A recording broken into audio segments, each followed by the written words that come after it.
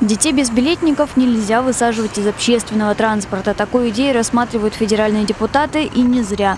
В разных городах то и дело возникают такие инциденты. Мы решили провести эксперимент и проверить, попросят ли выйти нашу семилетнюю актрису, и проехали несколько остановок по двум разным маршрутам.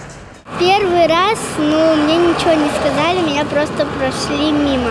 А во второй раз меня спросили, ты знаешь, где тебе выходить? Я сказала, да, и меня пропустили, я доехала. Нам повезло дважды, при этом в первом автобусе кондуктор вообще проигнорировала ребенка. Но так бывает не всегда.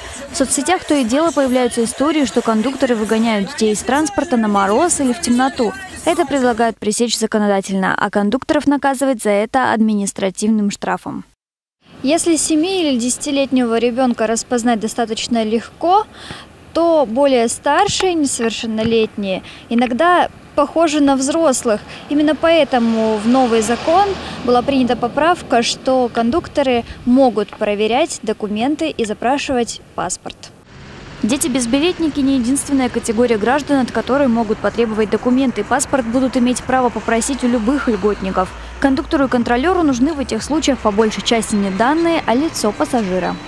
Зачастую э, документы, предоставляющие право на льготный проезд, либо бесплатный проезд, они не содержат фотографии э, лица, которые такими документами располагает, и сложно установить личность. То есть э, помимо там, допустим, пенсионного билета, человек должен будет с собой иметь еще и право, удостоверяющие личность документы. Это не значит, что безбилетников не будут наказывать вообще. За проезд зайцем следует административный штраф, сумму которого установят отдельно в каждом регионе. Запрет на высаживание детей работает уже в 12 субъектах страны. А вычислить кондуктора-нарушителя будет несложно. Как правило, подобные инциденты быстро тиражируются в социальных сетях.